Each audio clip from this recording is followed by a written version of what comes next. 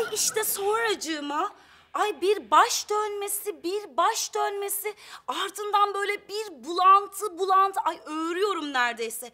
Anam koştum gittim yengeme. Dedim ki ne oluyor bana? O da tuttu beni kolumdan böyle doğru eczaneye götürdü. Sonra işte gebeşlik bebeşlik testi aldık geldik eve. Nihale bu tekme atmıyor kız. Ay iki buçuk aylık çocuk nasıl tekmelisin Kubat? İki buçuk aylık olunca tekme atmıyor mu Nihale? Ay cahil cahil konuşma Kubat. Daha o kurbağa lavrası gibi bir şey. Koluk bacağı bile yok daha yani. Ne demek kurbağa larvası gibi küçücük kolu bacak... Bozuk çocuk mu kakalıyorsun kız bana? Ay ne cahil ve öküzsün. Yani her şeyin bir zamanı var. Birkaç ay sonra böyle kolu bacağı çıkacak. Böyle kıpır kıpır olacak. Nihale erkek değil mi bu? Yoksa boşuna heveslenmeyeyim yani. Erkek erkek. Nereden biliyorsun?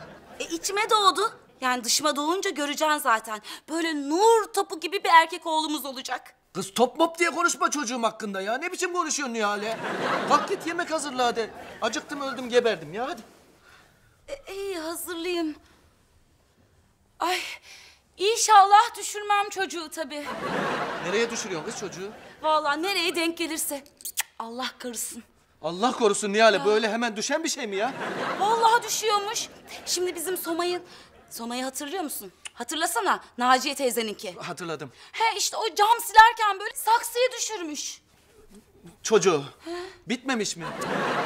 Peki Nihale şey yap. Sen uzan dinlen güzelce. Ben hepsini ayarlayacağım. Hepsini yemek olayları bundan sonra bende. Ben hallederim.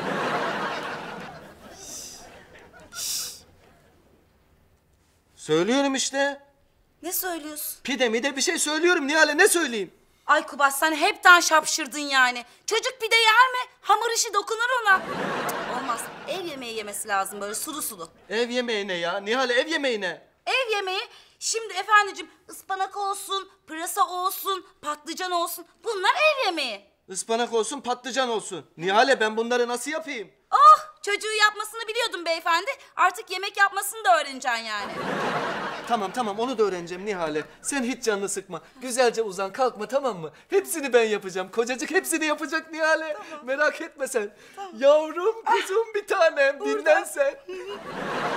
Hadi.